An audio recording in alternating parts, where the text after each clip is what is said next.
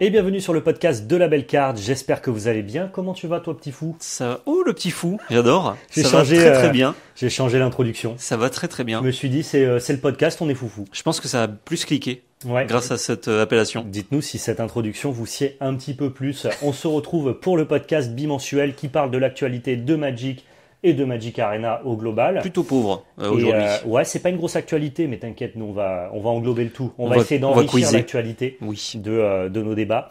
Et vous avez donc la deuxième partie du podcast qui traitera de l'actualité multi-TCG qui, elle, est un peu plus riche.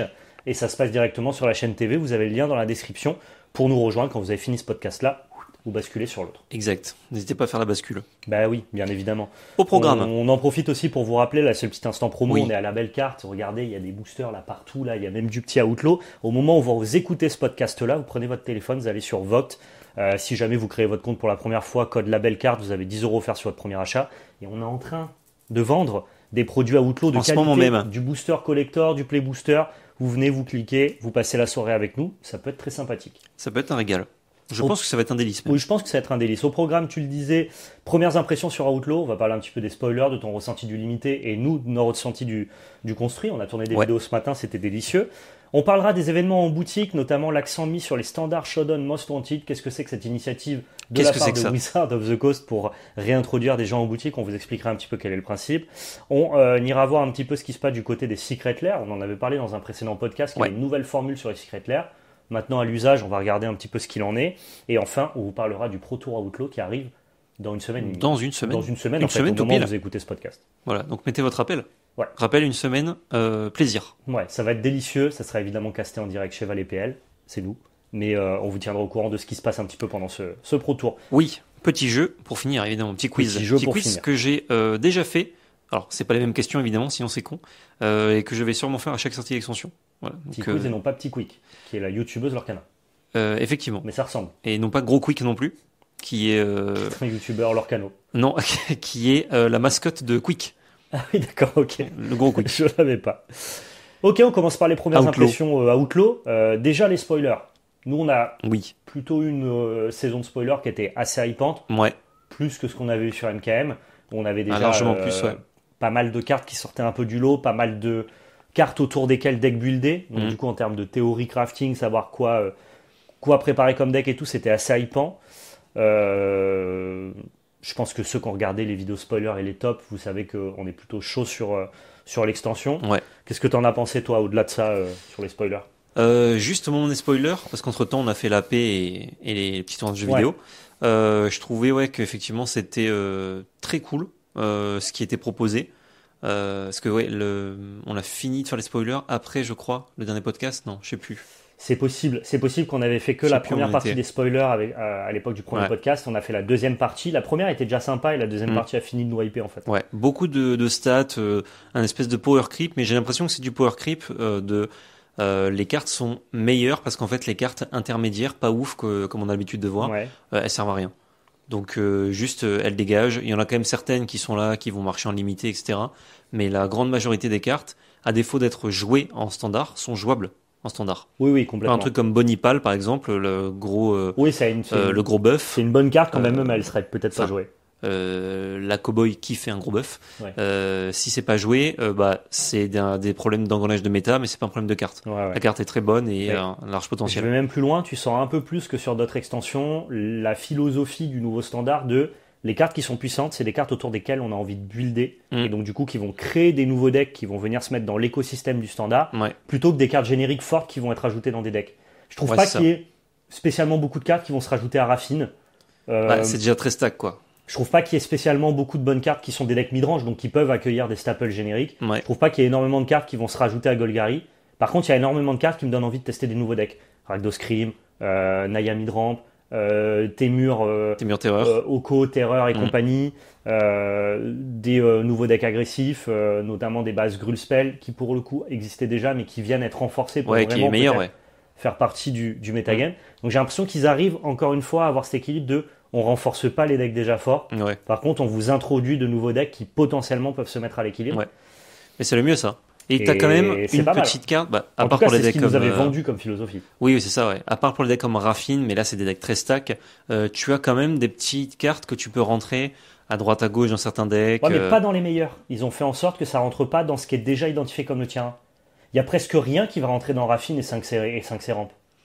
Bah, 5 Ramp, tu dois avoir euh, peut-être du, du petit side, des trucs comme ça. Là, j'ai pas en tête, mais. euh, En tout cas, t'as rien qui va faire exploser le deck en termes Ouais, de ouais. puissance supplémentaire. Quoi. Ouais, c'est vrai. Et ça, ça me va en soi. Bah, il y a un, une, comment ça s'appelle, une carte que j'ai jouée en limité. Je me demandais si c'était pas mieux que Topière. C'est un truc qui, euh, qui a l'impétuosité. Et tu peux, euh, pour je vois 3, très bien. aller chercher un désert ou un land de base, le mettre en jeu. Ouais. Et si c'est un land de base, c'est dégagé Ouais. pour 3. Et euh, pour 2 mana et 3 mana, donc 5 en tout, Tu peux jouer deux tu crées une. XX. Non, tu crées une XX, X étant euh, le nombre de terrains que tu as. Et tu peux faire les deux. Donc pour 6, tu peux aller chercher un terrain et faire une Ah. euh, grosse bête. Et je me demandais si on préférait pas ça à Topière parce que tu as l'opportunité d'aller chercher des landes dégagées euh, pour faire d'autres trucs, je sais pas. Parce que Topière sert à pas grand, pas à grand chose avant le tour euh, 7, enfin le 7 mana. En fait, la, la faiblesse de, de 5 ramp, c'est aussi de perdre sur le bord et l'agression. Et Topière, il bloque bien au bout d'un moment. Il bloque vite bien, quoi. Ouais. Quand t'es là et que tu vas aller mettre tes derniers points, il y a Topière qui bloque, casse un peu les couilles. Je sais pas. Je suis pas persuadé À en voir. tout cas que les decks qui profitent le plus d'Outlaw, ce ouais. soit les decks déterminants du format actuellement. Non, c'est J'ai clair. plutôt l'impression qu'on va chercher d'autres trucs. Mm. Et justement, dans ces autres trucs, c'est le moment où on débriefe un petit peu nous ce qu'on a vu en construit. Il y a pas mal de trucs stylés. Tu nous parleras un petit peu après, toi, du limité. Ouais. Euh, sur le construit, on a vu des trucs fous. Déjà, la mécanique crime a l'air grave cool. Ouais, bah ça c'est typiquement le- l'exemple de, euh, on va, en fait c'est une mécanique, euh, c'est des règles de Magic, commettre un crime.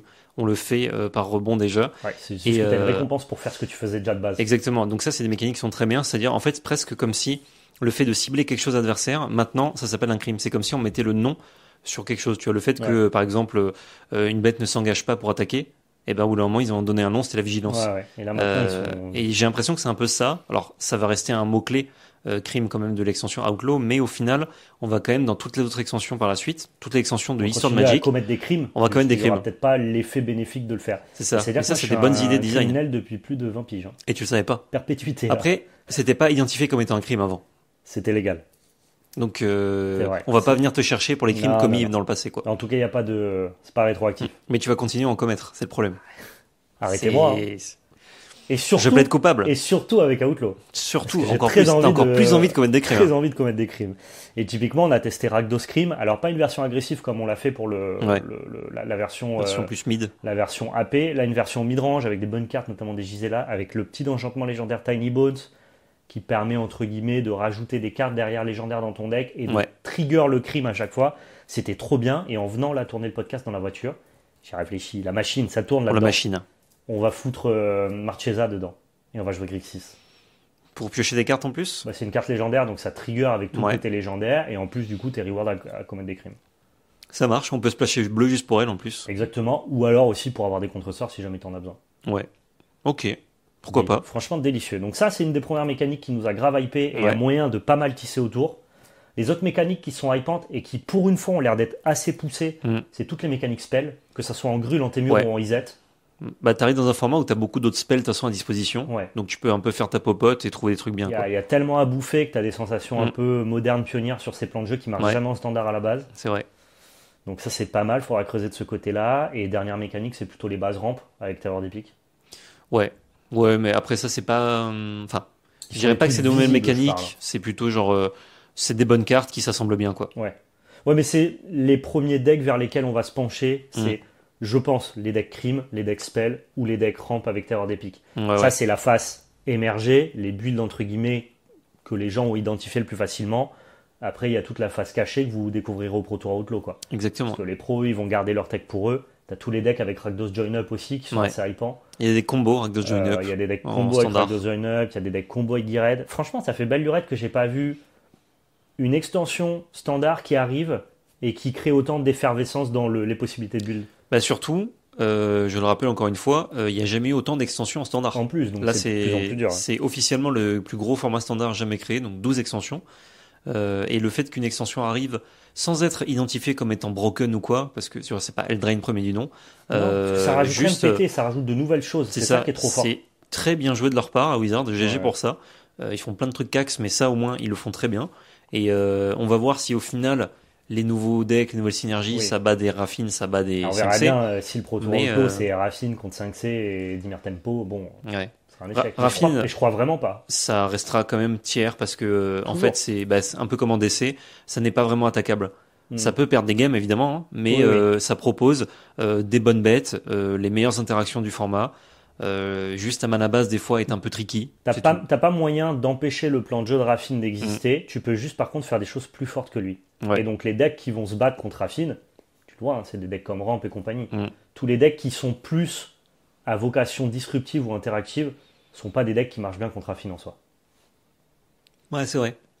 Donc euh, à voir. En tout cas, euh, vraiment, euh, vraiment pas mal hypant. Là où euh, Mm. je trouvais que Karl of Manor avait plutôt l'opposé de dire on prend des cartes isolées qui sont des bonnes cartes de Magic, Ouais. mais sans créer beaucoup de nouveaux deck build.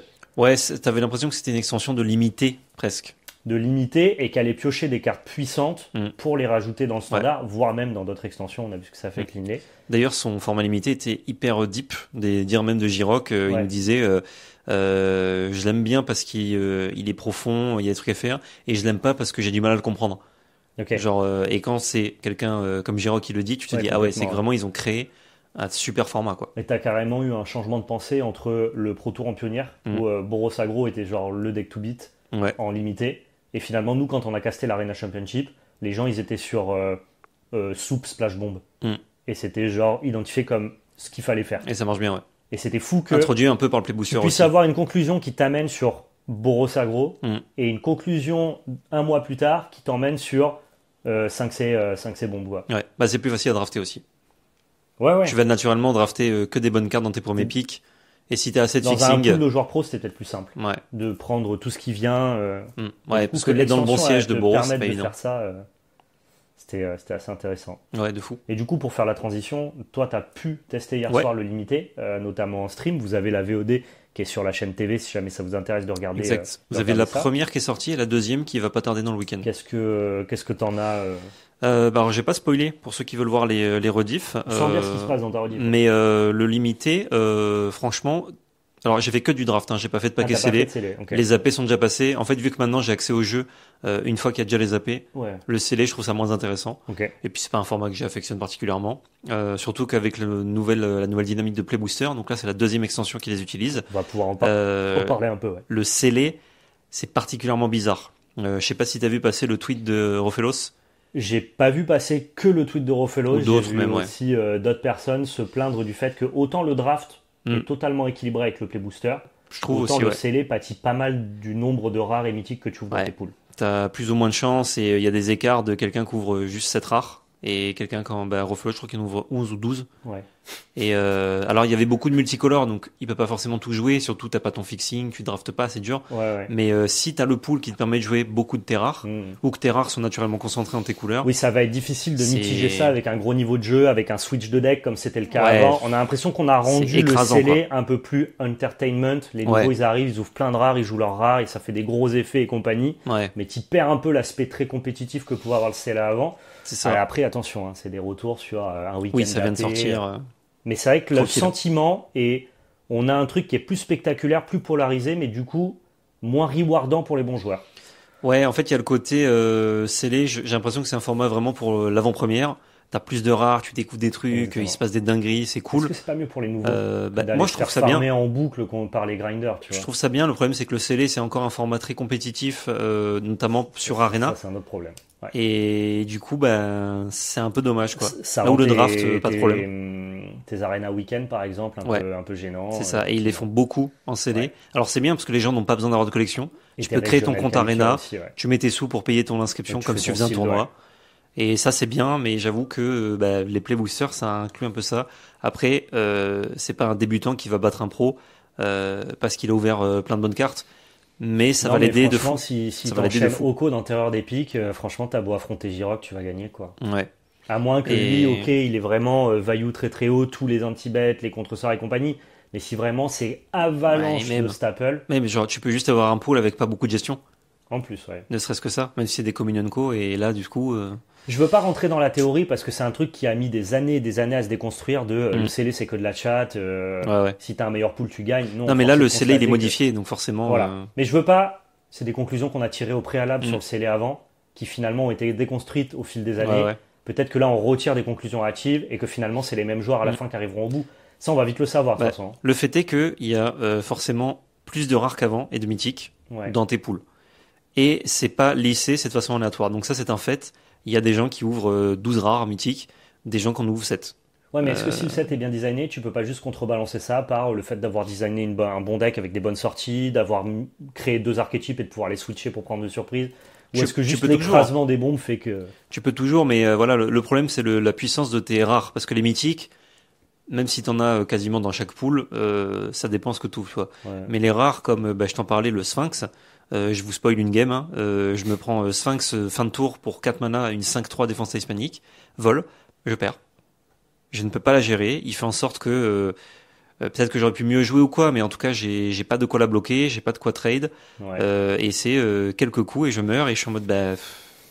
Ouais, mais ça Et encore. après, c'est à moi de mettre la pression, tu vas me dire, mais tu- tour te l'es- 4 quoi. Tu te l'es pris en draft et finalement en draft, nous on a eu des époques de draft qui étaient pas horribles. pourtant, Oui. il y avait Chariot Là- de rêve, tu vois. Là, c'est sur une game de draft, Ouais. mais je me dis en scellé, euh, ça a plus de chances d'arriver parce que t'as plus de rares. C'est le nombre, moi, qui me pose problème. Si, si tant est qu'il devait y avoir Bah un ouais. problème. Donc je sais pas. En tout cas, c'est S'il y a trop de design comme ça, en fait, c'est un problème. les pour retours. Twitter ont l'air de. Mais tu sais, Twitter, c'est quand même comme ça. Les gens, ils Les gens qui aiment chaud, pas, ils en parlent. ouais. instantanément. Ils n'ont pas forcément le loisir et le recul d'avoir fait Mhm. un nombre de games, un échantillon assez. Parce que tu vois, tous les mecs qui sont fait snowball à coups de mythique sur mythique sur mythique, Ouais. ils vont le poster sur Twitter. Tous les gars qui ont fait une AP régu où ils ont fait leur petit 3-0 en ayant un pack normal, Mhm. eux, ils viennent pas le dire.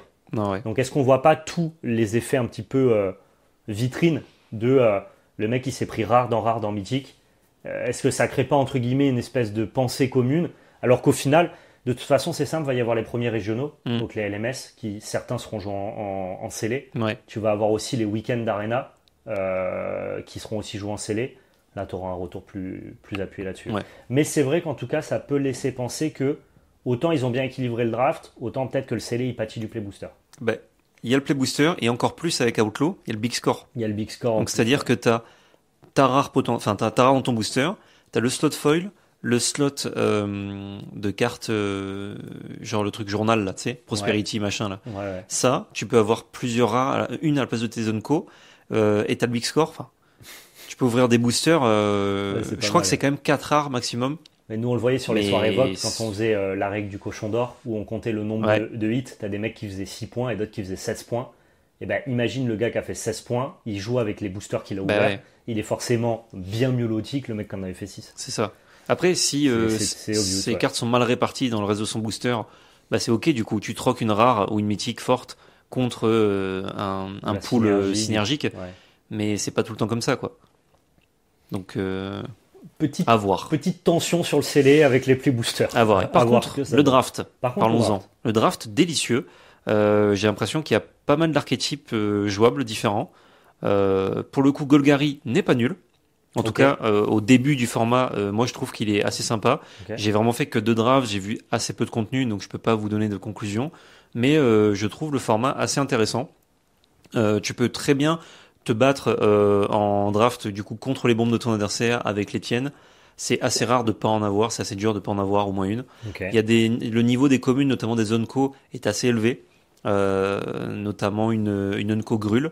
Euh, c'est une 4-2 pour 3. Quand tu attaques avec une bête qui a 4 de force ou plus, tu crées un trésor engagé. Euh, et tu peux payer. Non, tu crées un trésor dégagé, pardon. Elle se compte elle-même. Et elle se compte elle-même, ouais. Ouais, ouais. Et euh, tu peux payer 2, sacrifier un trésor, mettre un où tu veux. Ok, ouais, c'est pas mal. Et c'est une unco. Et le niveau de tes unco, notamment bicolore, euh, il est assez élevé. Est donc, élevé. euh, genre, bah, j'ai pu jouer avec cette carte-là. Tu fais des trucs, quoi. Ok. Tu fais des trucs bien vénères. Et du coup, t'as le sentiment de Ah, les communes unco, ça sert à rien de les faire naze comme ils font souvent. Il y a un power level plus élevé. Tu peux faire des trucs plus synergiques. Tu vas te battre, en fait, avec certaines zones co contre des rares, quoi. Et ça, c'est cool. C'est malin, parce que si jamais Ouais. tu augmentes le pool de rares et de mythiques, et que du coup ça variance à fond, Mm. euh, entre guillemets, ton jeu, mais si tu montes aussi le power level des Unco et des communes, bah, du coup tu mitiges un peu plus le power level des, des rares et des mythiques.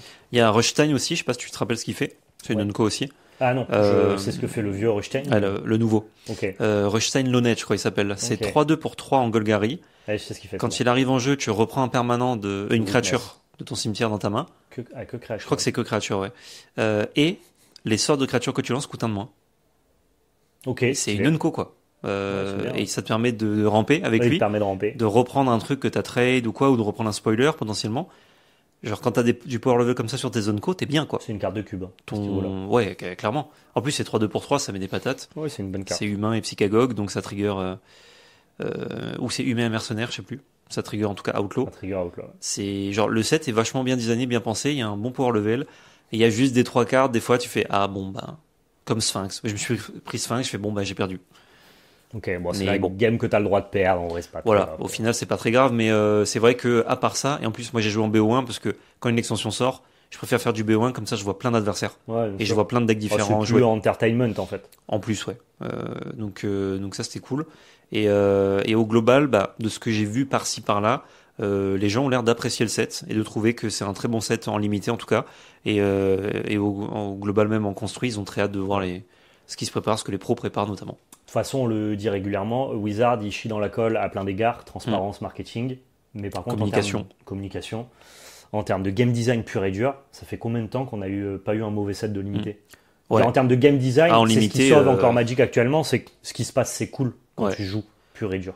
Il y en a qui étaient moins bons que d'autres, mais euh, Et ça fait belle lurette que t'as pas eu un truc qui était pas bon, genre comme euh, Xalan premier du nom. Tu vois. ouais, ouais, ouais, franchement, euh, Ils sont assez chauds là-dessus, donc euh, très tant forts, ouais. préservons ce qui est encore préservable. ouais, de ouf. Et ça, ça plutôt, c'est cool. Donc ouais, Outlaw très bien.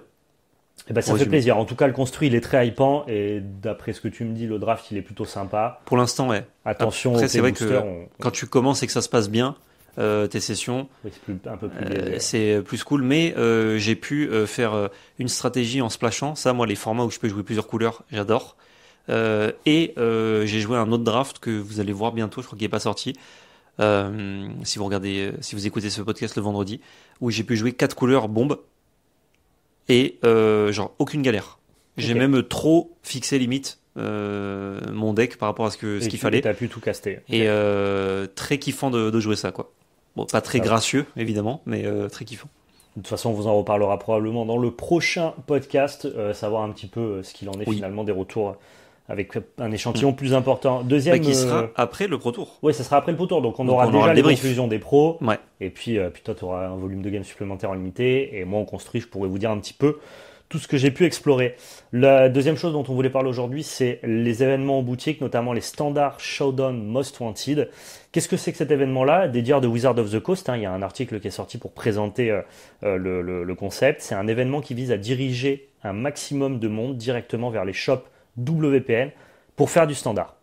Alors, euh, le concept, entre guillemets, c'est d'inciter les gens à venir jouer en standard, parce qu'on sait que malheureusement Magic a mis un petit peu du, délaissé, ouais. du plomb dans l'aile dans le standard. Ils essayent autant que faire se peut maintenant de le remettre un peu en avant. Et là, en gros, le euh, standard Showdown Most Wanted, c'est euh, on invite des créateurs de contenu à se, ren- à se rendre dans leur shop WPN euh, en ayant une espèce d'avis de recherche et donc du coup en euh, incitant à la communauté à venir se battre contre toi pour leur donner des rewards en fonction de, du résultat qu'ils font contre toi. En soi, l'événement, il est plutôt euh, euh, sympathique. Nous, avec PL, on a été invités, on nous a proposé, mais il faut euh, venir à plusieurs événements, ce qui pour nous était très compliqué au mois d'avril parce qu'on a plusieurs déplacements. Ouais. Donc euh, on n'a pas pu, euh, on n'a pas pu le mettre en place, mais dans l'idée, je trouve que l'initiative elle est cool. Ouais. Après maintenant pour les boutiques, ça fait des années que Wizard of the Coast leur chie un peu dans la colle en revendant sur Amazon, euh, en délaissant les Ouais. boutiques, en donnant plus de dotation et en incitant plus les gens à venir en standard. Et carte promo. Est-ce que, est-ce que, est-ce que cet événement-là va euh, faire revenir des gens en boutique pour jouer en standard? Et surtout est-ce que les boutiques, parce qu'elles sont pas obligées d'accepter, veut jouer le jeu est-ce aussi qu'elles veulent euh, jouer le jeu? Parce que les boutiques maintenant, euh, elles font des FNM en, en duel commander, euh, en Mm. commander multi. Euh, elles ont, euh, je te dis une connerie, euh, 30 joueurs sur leur cana, euh, 20 joueurs sont en duel commander. Ouais, t'as pas envie de. Est-ce qu'elles veulent euh, faire une soirée à 8 joueurs en standard, tu vois? Pas forcément. ouais. Donc est-ce que ça va être une réussite? Moi j'encourage que Wizard of the Coast Je souhaite que, le- que ça le soit, ouais. J'encourage que Wizard of the Coast essaye de remettre le standard sur le devant de la scène. Ça m'a l'air, euh, ça m'a l'air un peu léger, tu vois. Ouais, ouais. Ça m'a l'air un peu léger. En vrai, donnez des dotations, faites des cartes promotionnelles, euh, euh, mais un peu. Ouais, mais j'en parlais avec, euh, avec un GS là récemment, et c'est vrai que les cartes promo, euh, on avait la même conclusion tous les deux, c'était en fait on va pas faire l'event, on va l'acheter après.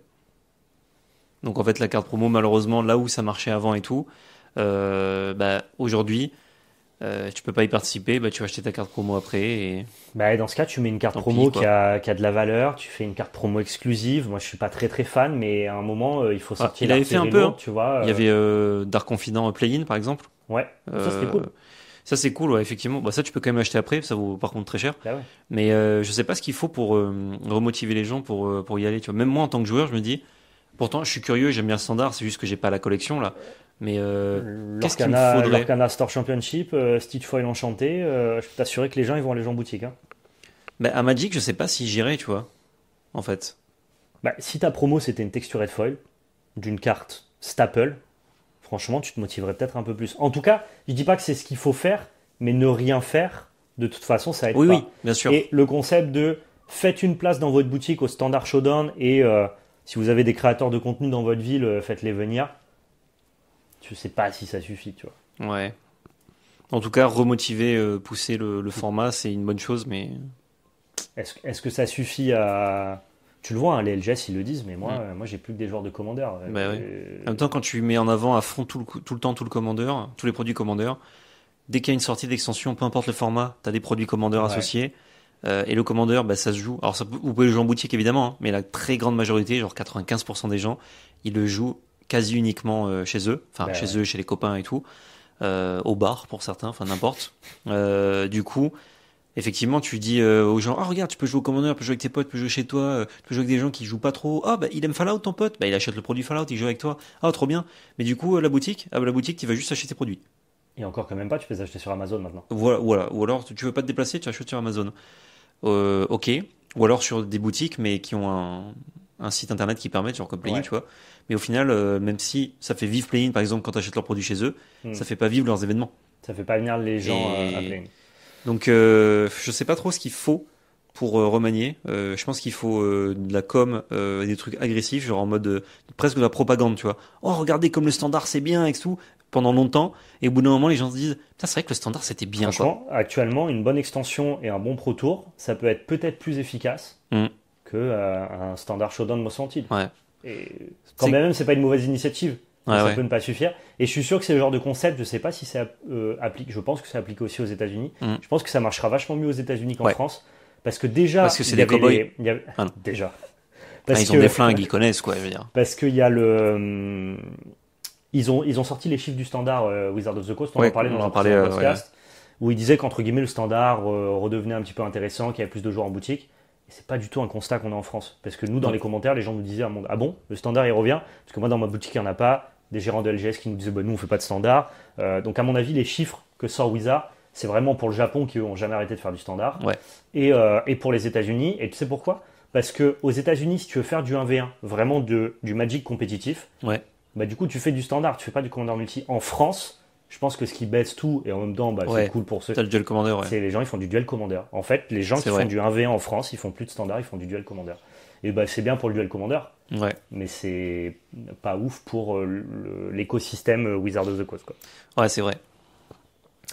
Donc pareil, interrogation sur cet événement-là. On verra, euh, je crois que ça va Mm. se découler pendant tout le mois d'avril, voire un peu euh, début mai. Avril jusqu'à ouais, début mai, ouais. Donc euh, on verra un petit peu ce que ça Eh, donne sur la Je fréquentation. pense que il devrait, alors j'ai des idées comme ça, hein, mais il devrait essayer d'axer le truc euh, pour le standard sur euh, Ils deux écouteront pas axes. ce podcast, malheureusement. De quoi? Ils devraient, mais ils écouteront pas ce Ils ne podcast. comprendront pas, mais je le dis comme ça, comme les gens dans les, co- dans les commentaires pourront dire Ah ouais, c'est vrai, ce serait bien.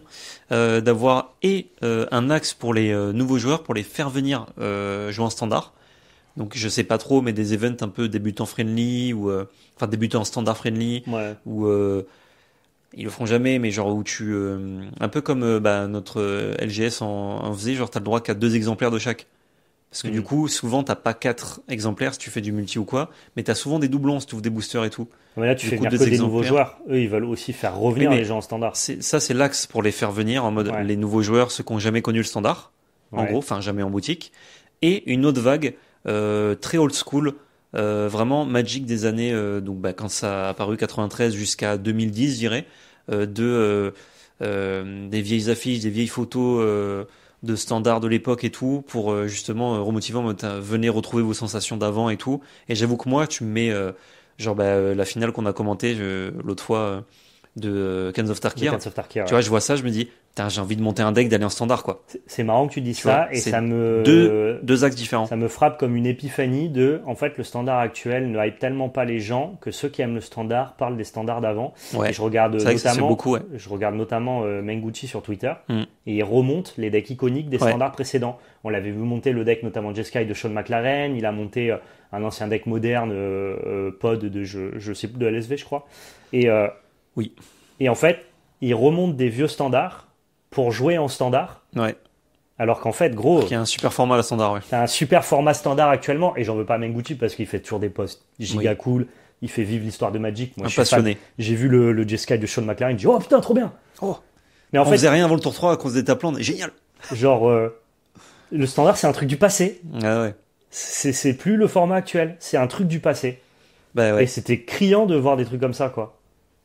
Mais c'est pour ça, hein, genre, si tu. Genre, bah, des gens comme Menguchi, même comme nous, en vrai, on fait du Magic Arena, mais on aurait les moyens de. Nous on fait du faire du standard. MMO et tout comme ça. Oui, mais on le fait sur Arena. Ah Euh, oui. Tu vois, le, de donner un peu plus envie aux gens avec des trucs comme ça. Tu contactes tes créateurs de contenu, tu, tu mets une équipe de com sur le coup, et tu, euh, tu donnes envie, en genre, ceux qu'on connu, ah ouais, j'aimerais bien reconnaître, et ceux qui n'ont pas connu aussi, ils pourraient se dire, ah ouais, ça avait l'air stylé, putain, à l'époque, tu faisais ça et tout. euh. Ouais. C'est un peu le- les vieux hiboux qui te disent, mais tu sais, nous, on n'avait pas de sideboard. Hein. Moi, je mettais 15 montagnes, et je faisais genre, j'avais un side, et j'en avais pas. Euh, Je savais pas ce que c'était le sideboard, tu vois, et euh, tu te dis, ah ouais, alors que maintenant j'ai accès avec un guide sur internet, tu te dis, bah ouais, Tu peux, tu peux. clic, clic, j'ai un guide, j'ai mon deck, euh, des éléments de communication. J'achète, j'y euh, vais, go quoi.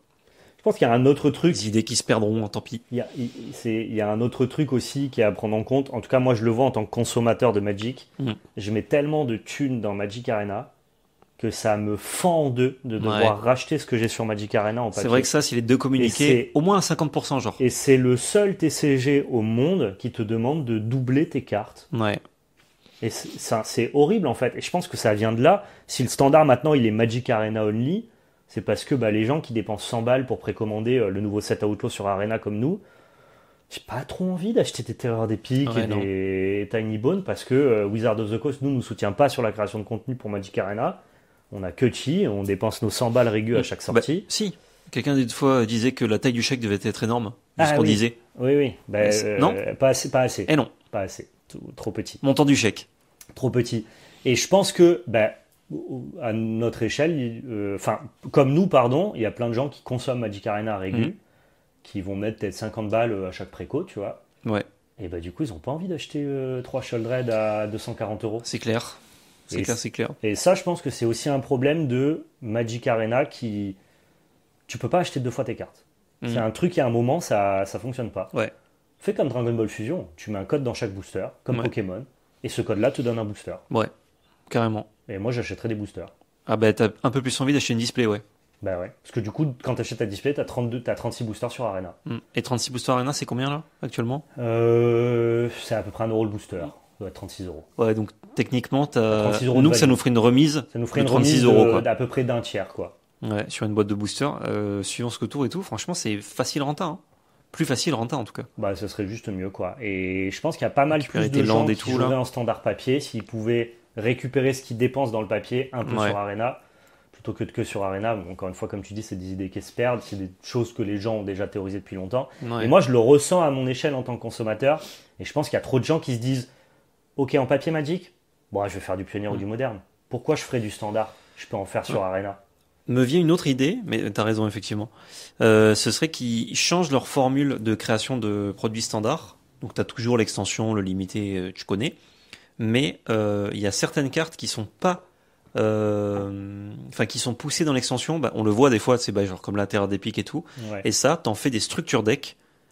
Mais du coup, au lieu de la- faire la Yu-Gi-Oh! au lieu de faire des challenger decks comme ils font, c'est-à-dire des decks existants, euh, mais disponibles pour rendre accessibles des formats, qui est une super chose, hein, refaites-en. Euh, faites-en tous les ans, franchement, pas de galère. Même rééditez-les, hein, parce que là, il y en a plus, donc euh, n'hésitez pas. Euh, tu fais des structures decks où justement tu fais le deck euh, euh, structure deck terreur d'épique, Le deck Crime.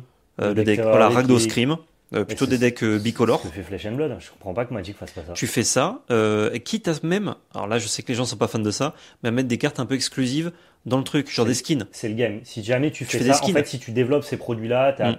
tu es un peu obligé de donner une petite exclusivité Ouais, au tu produit. vois, tu mets des, des skins, euh, une texture de folle, je sais pas, peu importe dedans. Ouais. Tu le vends euh, un peu plus cher qu'avant, parce qu'avant c'était 15 euros, mais c'est des préco nuls. Tu- Là, euh, tu peux chiffrer un petit peu plus. Et tu te dis, si j'en achète deux, j'ai tout le je fais deck. un tournoi FNM régu euh, classique. Et du coup, bah, moi j'ai ça par exemple. Alors pourtant j'ai envie de faire du standard, mais c'est vrai que les derniers tournois standards auxquels j'aurais pu participer, ils tombaient mal pour mon calendrier. Mais genre, euh, même moi qui ai envie de faire du standard, là tu me dis ce produit existe pour Outlaw, j'en achète deux, mais tout de suite, et je vais faire du standard. Ouais, tu t'achètes x2 le Scream. euh, Voire même, euh, tu sais quoi, je prends x2 de tous, et euh, du coup je peux changer de deck si jamais je veux faire souvent du Bah, standard. en plus, ce qui est Trop bizarre, bien. c'est que Magic, ils aiment bien quand même regarder ce que fait la concurrence TCG actuellement Mm. et s'en inspirer, notamment sur des traitements folles, Ouais. sur le fait qu'il y ait des boosters collector, sur le, tout l'aspect un peu plus euh, business, entre guillemets, ils aiment bien regarder ce qui se fait ailleurs. Mhm. Et ça, ils le font pas. Je comprends pas Ouais, trop. t'appelles ça les euh, standards Kickstarter deck, tu vois. Ouais, alors que Flesh Go, and Blood, t'as tes Blitz decks qui sortent, et tes Blitz decks, bah forcément, ils réinventent pas l'eau chaude. hein. C'est la mécanique que tu auras dans les versions compétitives des decks. Ouais. Quoi. Euh, sur Yu-Gi-Oh! pareil, t'as tes structures decks qui. euh, Alors eux, c'est pas lié à des extensions, c'est juste des structures decks qui sortent Mm. et qui poussent une mécanique Ouais, et qui sont des supports pour d'autres trucs. Mais en tout cas, ça se vend toujours très très bien. bah ouais.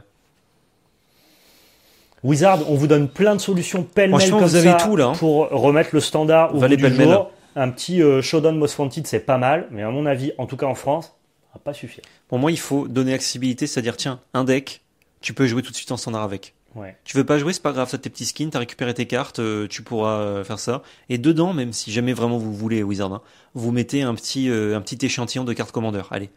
Comme ça, euh, ceux qui vont acheter ça pour faire du Vous standard, avez le petit quota. ils ont la petite dose de. Vous avez votre petit quota commandeur. de shoot, on, on vous connaît, Wizard. Voilà. Alors, c'est vrai. Mais sans déconner, c'est pas facile, c'est pas difficile à faire. Hein. Ouais. La Ragdos Crime qu'on a présentée, Faut tu sais, pas- tu mets, tu mets des et tout. Hein. Il, fait- il- il Tu- faut, il faut pas grand chose. Ouais, mais tu mets pas. Il faut, faut pas que tu puisses tout avoir x4 puisqu'il faut vendre aussi tes produits. Non, mais tu, tu Mais- mets euh, un land rare. Mais tu, tu fais en sorte que quand tu achètes deux decks, euh, tu puisses avoir une mana base qui est pas horrible. Tu, tu Ah mets ouais. une Giza dedans et donc du coup bah, tu as deux Giza quand tu as le double du deck. Et ça. après bah, tes Unco, c'est des Cassiol et compagnie. Euh, tu t'en mets deux dans chaque pack ou même tu mets ton carré d'Unco. Et ce qui va se passer, c'est que les cartes que tu as en trop, et ben après, ces gens-là, ils vont les filer à leurs collègues ou euh, à des débutants en LGS. Et ensuite, petit à petit, les mecs arrivent avec 0 euro rien, Ouais. qui récupèrent de la carte, juste en étant dans la LGS. Euh, parce que du coup, bah, ceux qui achètent plusieurs packs, ils ont des surplus. Et ceux qui ont les surplus, ils peuvent peut-être s'en servir pour commencer à faire des decks. Et ça snowball, quoi. Ou alors tu fais peux juste- faire ça, ça ruisselle. Tu fais des bons decks mais sans, sans trop sans les rares, tu vois. Parce que tu mets toutes les rares, c'est compliqué. Mais, Ouais. mais c'est pas trop trop dur de par exemple faire Ragdo sort la loi. C'est très simple de le faire en budget, en Mm. associant deux decks et d'aller t'amusant à FNL. Ah ouais. Et Mais, puis, t'as euh, juste à faire deux decks, hein. T'en fais pas 1000 comme il faut Ouais, pour le commandeur. hein. Tu clair. fais deux decks par extension, euh, nickel. Parce que, en fait, s'il y a une extension, t'achètes pas euh, un des deux decks qui sort, bah t'achètes celui de De, de toute d'avant. façon, si là actuellement, admettons que notre idée elle est pas trop applicable finalement avec les decks actuels, c'est très simple pour eux en tant que game design de Mm. prendre en compte cette idée-là dans le développement de leur set. Bah, bien sûr. Donc admettons que là vous dites ah mais non mais là ça marche pas parce que ça demande trop de rares, Mm. ça demande trop de ci. On s'en fout. Dès lors qu'ils ont l'idée, ils adaptent le game design à l'idée. Bah oui. Et s'ils adaptent le game design à l'idée, c'est comme notamment euh, sur Flesh and Blood, quand tu achètes tes Préco Blitz, il n'y a pas de majestic dedans. Mm. Et pourtant, tes, tes Préco Blitz, bah, ils marchent bien. Bah ouais. Et t'as pas besoin d'en acheter deux, en plus, t'en achètes qu'un seul et ça marche très bien. Mais c'est pour ça que je parlais de changer le produit parce que l'extension standard pour moi est un peu modifiée avec ça. Ouais, ouais. Et du coup, si tu veux dans ton extension standard, il faut des big scores, des machins, des skins, pas forcément légal, mais tu récupères Et tes pour boosters, t'as plein de plus sur ce que Voilà. tu perdrais, entre guillemets, à faire ça. Et du coup, les gens ils sont tu contents. même pas grand chose. Euh, moi, genre, j'achète, un, je pimpe euh, notamment pour le DC, donc les nouvelles cartes qui sortent, les nouveaux skins, je suis client de ça. Donc ça, euh, même si j'achète pas forcément de booster, mais je pourrais être client. Et à côté, j'achète mes decks de structure. Je vais faire mes tournois standards. Je suis régalé, quoi. On et j'achète en complétant. On a un petit peu dévié, on voulait parler de l'événement Most Wanted, mais ça nous a emmené sur Bah, euh, C'était le but, c'est comment euh, jouer en standard. remettre le standard au goût du jour. Bon, bah, nous, on a pas mal d'idées, et je pense qu'on n'est pas les seuls. La communauté a plein d'idées. Il faut juste que Wizard of the Coast, ils écoutent les idées. Et le problème, c'est que leurs chiffres, avec des trucs comme euh, Standard Most Wanted Mhm. et la rotation de 3 ans, ils ont déjà des chiffres en hausse aux États-Unis. Ouais. Donc finalement, ce qui se passe en France, s'en battent un peu les couilles, tu vois. Mais peut-être que ça va découler ensuite en France. Normalement, Peut-être oui. que euh, notamment beaucoup de gens euh, se disent mais je vais pas commencer à Outlaw euh, avec 12 extensions quand dans 3 mois bah, j'ai que avec Bloomborough, 9 ça extensions va être seulement. le vrai départ du nouveau standard que Ouais. tout le monde attend. Pourquoi pas? Pour moi c'est euh, Bloomborough et la rotation de l'année suivante qui vont être déterminantes Ouais. parce que Bloomborough c'est la première rotation depuis 2 ans maintenant. Ouais. Euh, oui c'est ça, c'était il y a 2 ans la dernière rotation. Et l'extension d'après ça va être la première rotation euh, avec que des sets où on Ouais. savait que ça allait durer 3 ans. Alors que là on a commencé à acheter des sets, on, savait que ça- on pensait que ça durait 2 ans, finalement 3. Vrai y a- ça il y a-. Il y a un autre truc qui a tué le standard euh, au-delà de. euh, parce que c'est pas vraiment Magic Arena. Maintenant, pour se remettre en standard, les gens ils comparent le fait qu'ils dépensent de l'argent sur Magic Arena, Ouais. mais euh, pré-Covid, les gens ils jouaient à la fois en standard et sur Magic Arena et ça posait de problème à personne. Euh, c'est vraiment le Covid, la perte du circuit compétitif et compagnie, la mise en avant du duel commandeur en France qui fait que le, le standard, lui, il a été, il a un peu tombé dans des yeux études. Mais il y a un autre truc qui a, je pense, un peu enterré le standard, c'est que les gens ils attendaient une rotation de fou Bah ouais. Et il n'y a pas eu de rotation. Et on leur dit, et on continue, ils ont fait, oh Et deux mois avant, ils ont dit en Bruh. fait, il n'y aura plus de rotation. Ah, Je pense que ça a tué les gens, ça. Ça, bah en fait, il y a eu le côté, ah, du coup, euh, on peut s'y mettre, entre guillemets, on peut récupérer les cartes et tout. Ouais. Et il y a eu l'autre côté de, ah merde, euh, bah, Ah moi ouais, j'attendais, et en fait, euh, encore récupérer tout ce que j'ai pas 50 balles, récupéré. Ouais. euh, tu me dis, il faut que je prenne là? Et c'est pour ça que je parlais de la rotation suivante, parce qu'à celle-là, on perd Capena, les Triomes, Impératrice Kamigawa, Vagabond, surtout. Kamigawa, donc plein de cartes, bon, des bonnes cartes, mais des cartes un peu coûteuses pour les gens. Mais quand on va perdre notamment chez Oldred, Hmm. c'est là où on va dire, ok, c'est bon, on peut y jouer, et ça coûte un peu moins cher, Celle-là, et ils vont la rééditer. Ça serait pas mal, hein C'est sûr, ça arrive là. Si Ça euh, arrive soon. dans Bloomborough, là, elle est un peu comme ça, cachée entre deux Et fougères. en fait, y a un renard. C'est chez Oldred. ah bon? Bah, On dirait quand même Non, chez Oldred. pas, hein. dans MH3. Je vois bien Sholdred dans MH3. C'est mon petit call. Il pourrait, c'est gens modernes. euh, moderne. Vite C'est- fait. Et, euh, et on sait que ça les dérange pas de faire des C'est gens réimpressions. pionniers. Ouais. Euh, moi, Genre un skin de chez Oldred, euh, ils appellent ça genre euh, légende du passé, alors que c'est pas du tout du passé. Je, je la, je la mettrai. S'ils sont malins, je la, je la mets dans MH3. Mm. À voir. Bon, en tout cas, voilà, on a donné plein de bonnes idées. Wizard qui nous écoute pas, n'hésitez pas. Ou plein d'idées de merde. Vous avez peut-être des meilleures idées Ou plein de encore. bonnes et on vous attend dans les merde, ouais. commentaires, évidemment. C'est ça.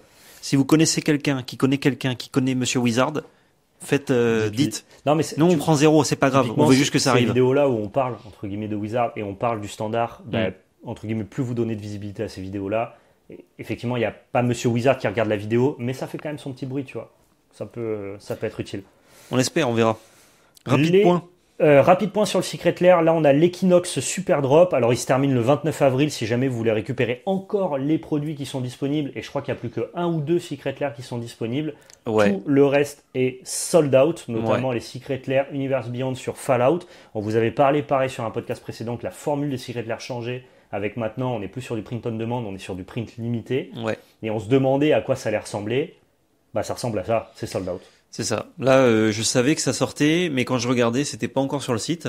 Donc je me disais bon, plus tard, plus tard, et j'ai pas activé Ouais. euh, me Mais rappeler. Ça a mis quelques jours parce que moi je me suis Ouais. connecté et tu pouvais commander tout le Fallout. Donc Ouais, ouais, ça n'a pas été sold out à la C'est pas en seconde. 24 heures, mais je dirais en 3-4 jours, En 3-4 jours. il y avait plus rien. Et moi, j'ai loupé la fenêtre. En fait, j'ai dû regarder genre la veille. Ouais. J'ai pas regardé 3-4 jours, occupé, on fait des trucs.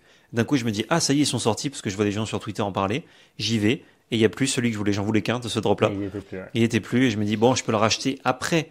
Mais si Donc, je le paye euh, plus cher, j'ai pas envie non plus. Maintenant le Secret Lair ça devient un petit peu euh, Produit de luxe. pas produit de luxe Produit de mais euh, tu vois le, le univers de la sneakers quoi. Ouais. Euh, tu Bah, faut être là, euh, quoi. ouais, faut être là, t'as ta raffle. euh, quand ça sort, faut être là quoi. C'est comme pour t'inscrire à un tournoi. Lorcana quoi. Ouais. Ouf, non, parce qu'on y était là et c'était pas facile. là, ça. Ça marche même pas l'Orcana. Bon, si, si on admet que à la sortie, tous ceux qui sont là, ils ont leur quantité, bon, pas trop trop râler quoi. Ouais, euh, je trouve que ça manque un peu de quantité et je pense qu'ils vont corriger ça au fur et à mesure. Mais ils sont quand même très contents de juste vendre une quantité. Ah Parce bah, que même si Wizard n'a pas les mêmes problèmes euh, d'impression que d'autres TCG, ils sont quand même limités par les imprimeurs Wizard. Et euh, parce que notamment ils manufacturent des fois il y a des secrets que j'ai achetés, ils viennent des États-Unis, des fois de Belgique, des fois de rarement de Belgique, plutôt de euh, États-Unis et Japon. Euh, mais du coup Japon, enfin c'est loin. Hein. Ouais. Et les frais de port, ils sont pas très Japon, élevés. Ça hein. doit être un peu mieux imprimé d'ailleurs. Peut-être, c'était peut-être de meilleure qualité. Mais Oh du coup, euh, ils sont plutôt contents de faire uniquement du euh, on print à l'avance et un certain nombre. Et s'ils peuvent augmenter un peu ce nombre, c'est pas déconnant. Ouais. Non, pas déconnant parce qu'ils peuvent toujours redistribuer leur secret lair. De toute façon, on avait déjà discuté. Vous pouvez écouter le, précédent podcast si vous voulez un petit peu tous les tenants et les aboutissants que ça pouvait impliquer d'avoir Ouais. maintenant des secrets clairs qui sont euh, plus sur demande, mais euh, mais euh, mais qui sont en drop comme ça. Mhm. On s'attendait plus ou moins au résultat, c'est factuel. Ouais. La plupart sont sold out. Il faut se dépêcher pour pour Ouais. les cliquer. D'ailleurs, ils ont annoncé ça très vite parce que dans le dernier podcast, on n'a pas parlé parce que c'était pas annoncé. On Ouais. savait qu'il y avait un drop, mais on savait pas ce qu'il y avait dedans à part Fallout. C'est ça. Et entre le dernier podcast, donc il y a deux semaines, et celui-ci, ça a été annoncé, c'est sorti sold out. Donc euh, pour nous, pour le podcast, c'est pas euh, pas Non, très bien. ouf. Ouais, ouais. Mais euh, Et pour vous, bah, ça veut dire que pour ceux qui sont fans des Universe Beyond, va falloir se bouger. Moi, typiquement, Ouais. je commande la plupart des Secret Lair Universe Beyond. Alors là, j'ai pas fait Fallout parce que je connais pas l'univers du jeu. Mais tu vois, je sais pas, quand tu auras ma collab alien que j'attends depuis euh, 20 ans, l'année prochaine. bah, je vais devoir me battre. Comme chaque et je pense que je vais devoir me battre vachement plus que sur Fallout et que ça va pas durer 3 jours. Ouais. Après, euh, faire attention. de ce que je vois, à part le deck où les gens avaient pété un plomb, euh, quand ça se revend sur le marché secondaire, c'est très abordable. Bien sûr, plus cher, t'as mais c'est pas très encore abordable. eu une collab, euh, sans manquer de respect à Fallout, t'as pas encore eu une collab en mode Final Ouais. Fantasy, tu vois. Ouais, c'est vrai, à voir. À voir, à voir, mais à Marvel dans un an. Je suis curieux. Dans un an, on parlera de Marvel. Il y a Marvel. Mais alors, je sera suis pas pas, pressé pour mon Magic, mais je suis pressé pour voir euh, l'actualité du Une moment. curiosité d'enfant. Exactement. Euh, ah, qu'est-ce qui se passe? Je veux voir ce que ça va donner, tu vois. Ah, de fou, ouais. Et je veux voir Bat être complètement fou en mode euh, Oh, Magic, c'est le meilleur CG du monde. Pas pour les bonnes raisons, Bat. Mais c'est pas grave, c'est bien, faut le dire déjà. Et oui, c'est cool. En parlant de Fallout et de Marvel, Pro Tour Outlaw, la semaine prochaine, La rien à voir. Rien à voir du tout. Euh, Pro Tour Outlaw, qu'est-ce que c'est? Qu'est-ce que c'est Pro Tour? Qu'est-ce que c'est Outlaw? Outlaw, vous savez, c'est une nouvelle extension. Qu'est-ce que c'est Pro Tour? C'est le plus haut niveau de compétition, Ouais. Hormis les Worlds, évidemment. Euh, les Worlds qui sont euh, fin de cette année, du 25 au 27 octobre. Ouais. Réservez la date. À Las Vegas, Euh, comme à Las passée. Vegas, là c'est le, le pinacle de la compétition.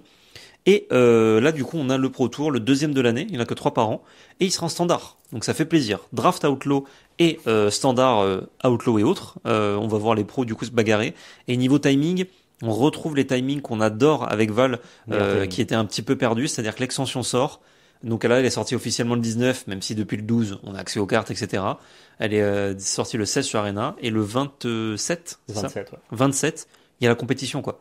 Donc, c'est-à-dire que les pros, bon, ils ont commencé avec les reveals, évidemment, mais ils ont pas beaucoup de temps de bagarre, quoi. Ils ont Oui. quoi? Ça cuisine depuis, semaines. depuis bien quelques semaines, je pense. Trois déjà. semaines, on va dire, allez, quatre semaines max. Ouais. Ils ont commencé à, à build, C'est ça. mais euh, Ils ont un mois pour préparer et ça veut dire que Ouais. nous, on va arriver au Pro Tour Ah, en tant que caster. un peu moins. Ils doivent submit les decklists.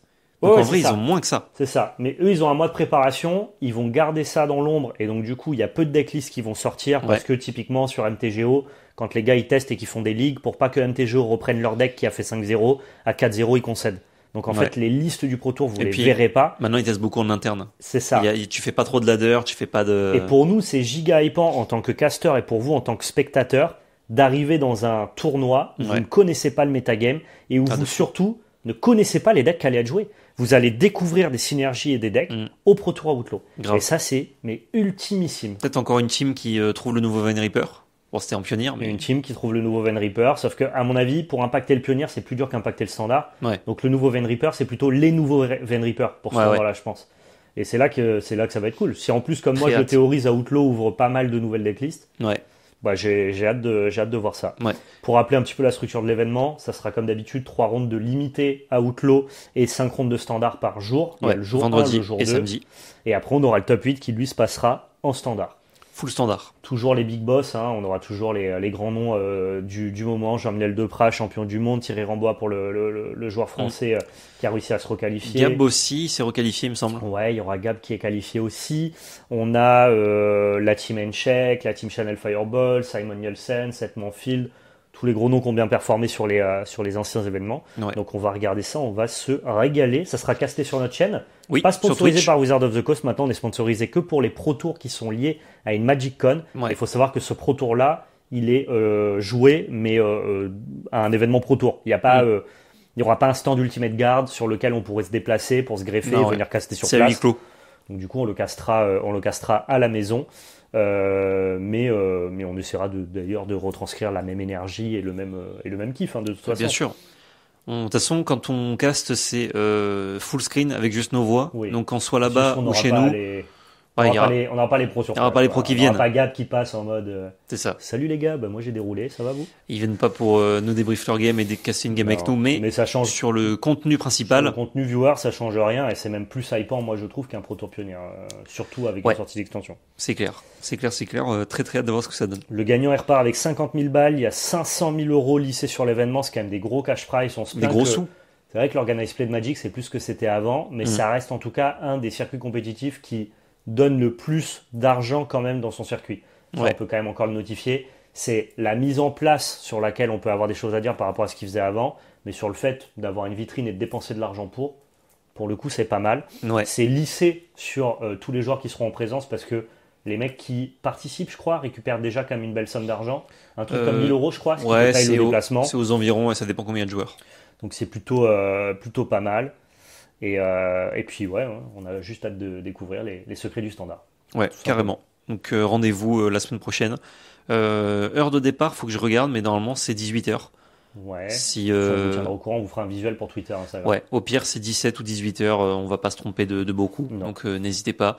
Et euh, évidemment sur nos réseaux pour être tenu au courant, même dans nos vidéos, dans celle de mercredi du coup prochain, on vous annoncera ça. À celle de Sulta Yoko, euh, Temuroko et Terror d'Epic. Normalement celle-là, ouais. Moi, Pas je- encore tourné, mais- Je ne vis que pour ça. Je ne vis que pour ce moment. Euh, ok, petit quiz pour se finir. Petit quiz, on se finit juste. Euh, juste une question, vrai ou faux? Euh, vrai. Bah voilà, c'était le quiz. Ouais, j'étais Ok. pas très inspiré. Allez, c'est parti pour la partie multi-TCG. Et non, c'est pas vrai. Euh, quiz. Aujourd'hui, quel est-il? Vous pouvez jouer à la maison, évidemment, enfin à la maison, là où vous êtes quand vous écoutez ce podcast. Vraie carte ou pas? Ah, vraie carte ou pas Selon les noms. Exactement. J'ai pris des noms de cartes de l'extension et j'ai créé des noms de cartes également. Et je dois te dire si ça existe ou pas? Putain, C'est ça. nul. J'ai pris, euh, j'ai essayé de prendre euh, parmi les cartes qui existent euh, un peu de rare ou de mythique. D'accord. J'ai pas pris euh, Et cartes qui ni t'as pris quoi? J'ai pris pris plutôt des euh, Unco et rare. J'ai pas pris de mythique. D'accord, pour les cartes qui existent Euh, pas. va. et et un, un, un peu de commune aussi pour les cartes qui n'existent pas. Mais je t'avoue qu'il y avait des noms que euh, j'avais très envie de très envie de mettre pour voir si tu, tu connais ou pas. Donc euh, j'ai farfouillé un peu. On est parti? Vas-y, vas-y. J'en ai euh, j'en ai 16 et si jamais il se trouve que tu faisais 8 8 8 bonnes 8 fausses, Ouais, T'en as une 17 j'ai une 17e pour le plaisir. Alors, spoiler, je vais probablement pas faire 8-8. Euh, un petit dernier. Un petit dernier. Ouais, Ça, ça fait un petit dernier pour la route. C'est très dernier. saloon, quoi. c'est très saloon. C'est très saloon et du coup, c'est faux. C'est un rituel blanc qui blink en mars. Ça s'appelle un petit dernier, ça Ouais. Je vois très bien ce que c'est. C'est pour 3 et X. Ah putain. Mais le Un pire, c'est que pendant les spoilers, les cartes sont anglaises. Les titres sont anglais pendant les spoilers. Ça dépend les cartes, ouais. Ah, la plupart. La plupart? En fait, le spoiler visuel est en anglais et c'est quand tu mets la souris dessus sur Magicville que t'as le texte en français. Ah ouais. Mais tous les forcément le titre. spoilers sont en anglais. Ouais, ouais. Ok, un petit dernier, bah, j'avais pas. Faire dérailler le train. Un peu long nom. Je vais me faire baiser, je suis nul. Faire derrière le train, bah. Là, c'est vraiment à l'affect. hein. Soit tu la connais, soit tu, tu jauges, quoi. Ah, mais si je la connais pas, euh, je vais dire faux par défaut. Bah, faux. C'est faux. C'est moi qui l'ai inventé. Ça va. Mais ça, ça marchait, hein. Euh, bandit du désert. Bandit du désert. Non, c'est faux. C'est faux aussi, ouais. Ouais. Mais sache qu'il y a trois cartes avec bandit dans le nom, quand même. Ouais, ouais, mais ça m'étonne pas, mais Par contre, euh, s'il y a un bandit du désert, je prépare une carte qui s'appelle bandit du désert. pour moi, Je change pas une lettre, histoire de quoi. pour moi, bandit du désert, c'est, euh, tu sais, euh, la petite phrase après un nom euh, d'une créature légendaire. Ouais, Genre, j'espère. Bandit du désert. du désert. exactement. Duel à midi. Oui. Oui, ça je connais, c'est la carte de side. Oui, c'est la carte de Ouais. side. Enchant de blanc, un spell par tour et un peu tué. Oh, t'as bon. 3 points déjà, t'es chaud. Je suis chaud. Saloon accueillant. On a déjà le salon accueillant, pas, pas à moi. On a un salon accueillant On a le petit salon élégant, non? Petit salon. Ouais, mais c'est. Là- ça n'a rien à voir, quoi. Salon et saloon, c'est des mots qui se ressemblent. Non, il n'y a pas salon accueillant. Il n'y a pas salon accueillant, mais ça aurait pu être un London Co. un dernier boulot. Oui, on en a rigolé ensemble. Ouais, bien joué. Putain, t'es chaud, hein c'est C'est un rituel blanc, tu sais ce qu'il fait Non, pas du tout. bah, En vrai, il est pas mal. Euh, c'est le truc impétuosité, là. Et tu peux Ouais. réanimer des trucs en fonction de ce que tu payes. Ok, en blanc En blanc, ouais. Ah, mais oui, c'est Enfin, bon. un peu Je- cher, mais. C'est bon, euh, je l'ai, je l'ai. C'est pas mauvais. Monter à cheval. Monter à cheval? Ouais, je dirais oui. Et non. Ouais, mais ça, ça aurait pu. Mais ça aurait pu. Ok, ok. Euh, T'en t'es à combien, là? Je dois être à 5, je crois. T'en as eu 1, 2, 3, 4, 5. Ouais, t'es à 5, c'est ça. Euh, mettre les bouchées doubles. Genre ça, ça a pas déjà été utilisé à Magic, quoi? Si jamais j'ai inventé, c'est une carte qui n'existe pas. T'as vérifié qu'elle n'existait pas dans, une, dans un autre set? Non, t'as peut-être pas vérifié. Hmm, Mais je, je dis pas que ça existe, hein, mais ça me paraît fou que Magic ait jamais inventé un une carte avec ce nom-là. Normalement, non, mais bon. Je peux me tromper. Euh, Bah du coup, c'est une carte qui n'existe pas. hein. Et c'est un enchant de bleu qui copie tous les hors-la-loi. Oh, putain, je me suis fait baiser, quoi. Je voulais baiser, tu m'as baisé, tu sais, contre-baise, quoi. Euh, éperon de contrebande. Éperon de contrebande. Euh, J'adore ce jeu. euh, Moi, j'adore. je pense que c'est vrai. Et c'est faux. Euh, je, suis, ça y est, je suis perdu. Il est rentré dans ma tête. parce qu'il y a des enfer éperons. Il y en a plein. Oui, il y a plusieurs enfers. Mais c'est un clan. Ouais, ouais. Enfin, un clan, un une team, je ne sais pas. Euh, la clé du coffre-fort. On sait qui c'est la clé d'ailleurs. On en a parlé. Hmm, Alors, c'est Ah non, c'est ce c'est ah, pas la clé du coffre, ah non, le, c'est ce le qu'il y a- bordel. C'est ce qu'il y ce y a dans le coffre. Ah oui, le bordel témur. La clé du coffre-fort, oui, ça existe. Ça existe. C'est l'équipement bleu Osef. Maintenant, Je suis, dans un, fait. je suis dans un mood où j'ai pris assez d'avance. Je dis que vrai. Et je suis dis que vrai de 8, je pense. Ça dépend. J'ai pas, j'ai un peu randomisé le truc. Ouais, ouais, mais. Le servant du dard. Genre, si t'as inventé ça, ça n'a aucun sens. Ça n'a aucun euh, sens. Servant du dard. Bah, si tu l'as inventé, pourquoi le servant du dard? Non, c'est vrai. C'est vrai? Ouais. Ouais, c'est une créa 1 3D Touch. Mec, trop bizarre si t'inventes le servant du dard. Ah, parce que ça me faisait marrer comme nom. Bah oui. Et quand il touche, tu peux le sacrifier si t'as commis un crime pour euh, faire des mecs tutor. Ok. C'est pas mauvais en vrai. Je suis à quoi? Je suis à 7-8 là?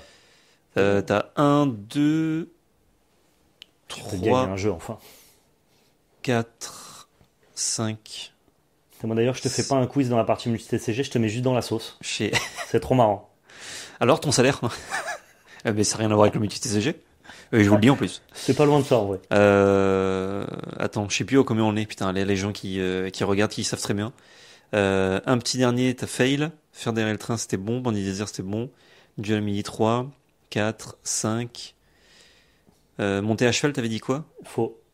Ouais, c'est faux. 6. Non, j'avais dit vrai. J'avais dit vrai. Ah non, donc 5. Ouais. Euh... Et prendre contrebande, t'avais dit vrai. C'est Ouais, je me faux. suis trompé. Click-off 6, servant du dard 7, t'es à 7 là. Ok, je suis à 7. C'est parti. Pluie de balles. Plus de balles, c'est faux. Mais ça devrait exister. Putain, c'est faux. Et je suis étonné que ça, Ça soit devrait pas. trop exister. Mec, dans cette extension, ils Ah ont pas mis pluie de balles. Mais c'est bon, je suis à l'équilibre là. T'es à 8. Ouais. Euh, Cooper, shérif en maraude. Ouais, vrai. Et je suis très content que tu dises vrai parce que c'est faux. C'est faux, ok. Ça aurait pu. Je me suis dit, euh, c'est pas facile à inventer une, Une une créature légende qui, qui marche bien, tu vois. C'est vrai. Euh, tirer sur le shérif. Vrai. On l'a Ah, joué, joué euh, ce matin, ouais. à ce neuf, matin. bien joué. La grande attaque du train. C'est quoi dérailler le train C'était faux, c'est ça? Faire derrière le train, c'était fou. Ouais. Et la grande attaque du train, c'est vrai du coup. C'est vrai, c'est le spell rouge qui fait plusieurs phases d'attaque. Euh, 10 points. Ruer vers l'or, La ruée vers l'or, c'est faux. c'est un tricks vert. Ah Pour ouais deux, tu fais un trésor et tu mets plus de plus 2 en fonction je vois du le trésor. gars qui dégueule des pièces en commandeur multi euh, rien à voir. Et non. Et euh, le petit dernier pour le plaisir. Ouais. Est-ce qu'il y a une carte qui s'appelle la vache? Tu dois la créer, c'est un token. C'est le token de Bonipal Je sais pas si c'est le token de Bonipal, mais Le token de Bonipal, il s'appelle Beau. il s'appelle Beau. Il n'y a pas un truc qui crée la vache? Il n'y a pas une carte pas. qui s'appelle la vache, je crois Est-ce pas. que la vache existe ou pas? Non. Et si. Il y a une carte qui s'appelle juste la vache. La vache. C'est une quoi? C'est une commune? C'est une 2-2 flash vol pour 3 euh, qui fait gagner 2 PV et scry 1. Et c'est une vache? Ouais. Une vache qui vole. Elle s'appelle la vache. Avec un V majuscule. C'est horrible, ok. Ah, bien bah, joué. T'étais chaud. J'étais semi-chaud. La vache. Ah oui, c'est incroyable. Et du coup, à chaque fois que je la vois en draft, je suis oh, la vache Genre pour moi, ça n'a même pas le droit d'exister ce nom. C'est pas possible. Et il y a aussi euh, bovine intervention, un truc comme ça. Ça, c'est stylé. C'est stylé. Mais ils ont un délire avec les vaches euh, dans ouais. l'extension. Bon, en même temps, c'est l'extension cowboy. euh, Ouais, pourquoi elles volent? Autant. Ah non, mais ça, C'est moi c'est l'extension cowboy, mais attends, on est dans un multivers. normal, on est mais- dans un multivers, gros. Donc, euh, Oui, c'est vrai. On peut Faut, rigoler. faut pas chercher le justif. Pourquoi il y a Ah, Captain t'étais- America en 2025 tu vois, t'étais, euh, vaches, finalement. donc, euh. T'étais assez chaud. Hein. Ouais, ça va, je m'en suis bien sorti. Bien, Ouais, oui, c'est je- cool. On va peut-être du coup conclure et passer sur la section multi-TCG. Nous, on Oui. vous invite à switcher de chaîne directement dans la description pour euh, la partie multi-TCG. Tu sais quoi, je vous annonce le programme à la fin de cette vidéo. Peut-être que ça vous donnera envie de venir Oui. sur la prochaine. On parlera du Gala TCG, événement auquel on sera présent avec la belle carte. Pas de reprint FR pour Star Wars. Énorme banlist chez Konami pour Yu-Gi-Oh! On vous parlera un petit peu des Lorcana Disney Challenge et les pêle-mêle. Les sorties pêle-mêle, pardon. Puisque les pêle-mêle, ça veut rien dire. Les PML, non, ça veut rien dire. Voilà. Ça peut être plein de trucs. Allez, à tout à l'heure. Merci À à tous d'avoir regardé.